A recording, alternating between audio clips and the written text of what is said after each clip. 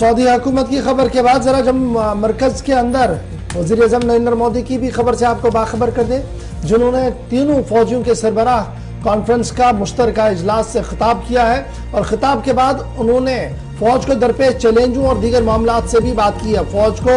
नए खतरा से निपटने के लिए तैयार रहना होगा। कंबाइंड कमांडर्स कॉन्फ्रेंस से वज़ीर अजम का खिताब हुआ है और वज़ीर अजम नरेंद्र मोदी ने भोपाल में कमांडर कॉन्फ्रेंस 2023 के अख्तामी इजलास के दौरान सिक्योरिटी सूरत हाल और मुसल अफवाज के ऑपरेशन तैयारियों का अज खुद जायजा लिया है। वज़ीर अजम दफ्तर की तरफ़ से जारी बयान के मुताबिक वज़ीर अजम नरेंद्र मोदी ने हफ़्ते को मुसल अफवाज की जरूरियात, हथियार, टेक्नोलॉजी और दीगर मामला से उन्हें लैस करने के लिए तमाम इकदाम किए जा रहे हैं और उन्होंने ये भी इस बात पर भी ज़ोर दिया कि तमाम तर खतरात से निपटने के लिए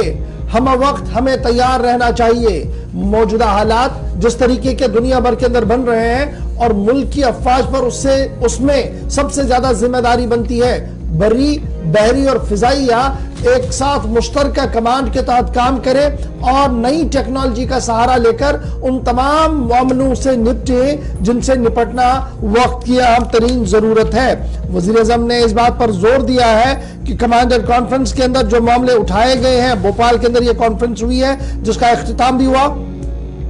इसके अंदर जो बातें रखी गई हैं, उनका जायजा भी सरकार लेगी और मुनासिब और माकूल इंतज़ाम पहले भी किए गए हैं और आने वाले दिनों में भी किए जाएँगे। Chief of defence staff general Anil Chaudhary की तरफ़ से भी इस पूरे मामले पर अपना बयान सामने रखा गया। तो हम इतमान का इजहार किया गया कि चीन के साथ लगने वाली सरहद हो, पाकिस्तान के साथ लगने वाली सरहद हो, फिजाइया हदूद हो या बहरी हदूद हो, हर जगह पर भारतीय अफवाज जो है वो तन मन के साथ खड़े हैं और दरअसल मुल्क की हुकूमत इस वक्त उस तरीके की है जिन्होंने अफवाज की हर बात को माना है और यही वजह है कि अफवाज हर गुजरते दिन के साथ मजबूती के साथ सामने आ रही है। वजी अजम ने साफ़ कर दिया कि सरहदों पर तनाव ज़रूर है, लेकिन सरहदों पर तब्दीली हर